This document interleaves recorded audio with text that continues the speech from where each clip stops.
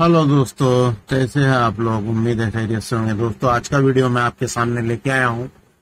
कि एक पाइप है जो अंडरग्राउंड फिटिंग में दबा हुआ है तो इसमें हमको एक कपलिंग लगाना है।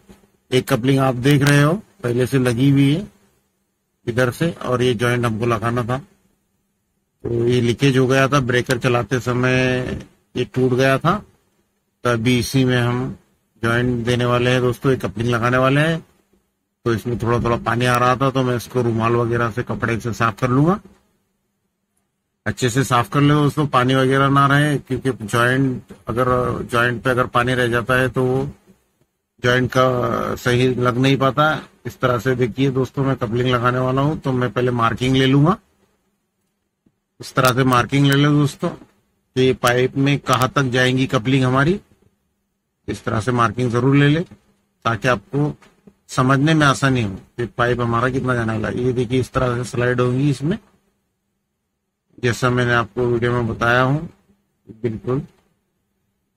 पहले इधर की तरफ़ स्लाइड होगी, जो पहले से कपलिंग लगी हुई उस साइड में, और वापस से ये मार्किंग के निशान तक हमको उसको वापस लेना है। तो मैं पहले पाना वगैरह सेट करके रख लेता हूँ, ताकि अगर पानी की ज़रूरत पड़े अर्जेंट में तो दोस्तों वो पाना ज़रूरी है। पहले उसका माप निकाल के उसको किस गाले पे सेट करना है, वो सेट करके रख ले।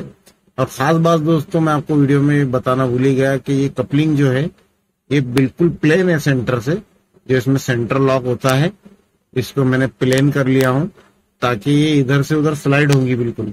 तो इसमें सोल्यूशन अच्छे से लगा दे, ताकि ये फिसलने में इसमें आसानी हो और सोल्यूशन अच्छा लगाए पाइप पर भी और कपलिंग में भी। ताकि कपलिंग फीचे की तरफ़ फिसल कर ये मार्किंग के निशान तक वापस आ जाए।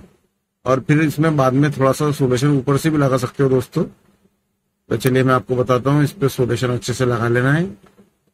ये जो पाइप मैंने हाथ से पकड़ा हूँ दोस्तों, इसको ज़्यादा दूर तक सोल्यूशन लगाए ताकि जब ये फिसलेंगी पीछे की तरफ़ तो वहाँ तक सोल्यूशन होना चाहिए। ऐसा ना हो कि वो सूखा रह जाए और आपका जॉइंट प्रॉपर ना हो पाए।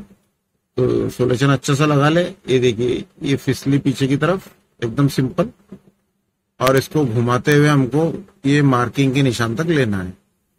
बस ये होगा ज्वाइंट कोई ज़्यादा मुश्किल काम नहीं है दोस्तों। अब इसमें सोल्यूशन दे देंगे हम थोड़ा सा, जिधर से हमारी फिसल के वापस हुई थी, हल्का सा। और ये ज्वाइंट प्रॉपर हो गया। दोस्तों, अभी मैं क्या करूँगा पानी जब शुरू करूँगा तो आपको वो भी वीडियो बताने वाला हूँ। कि बिल्कुल भी लीकेज वगैरह इसमें नहीं है। तो ये परफेक्शन में काम हुआ है दोस्तों।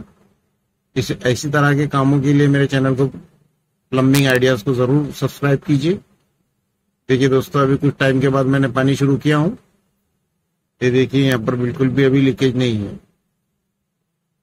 ये इसमें अभी पाइप में फ़िलहाल पानी शुरू है। तो मैं इसके लिए आपको बता दूँ कि ये टैंक टैंक से जो ओवरफ्लो हो रहा है दोस्तों, टैंक ऑलरेडी भरी हुई थी, लेकिन मैंने चेक करने के लिए। पानी शुरू किया हूँ। देखिए, ढाई के पाइप से पानी ओवरफ्लो हो रहा है और ये फर्श पे पूरा पानी पानी उसी का है दोस्तों।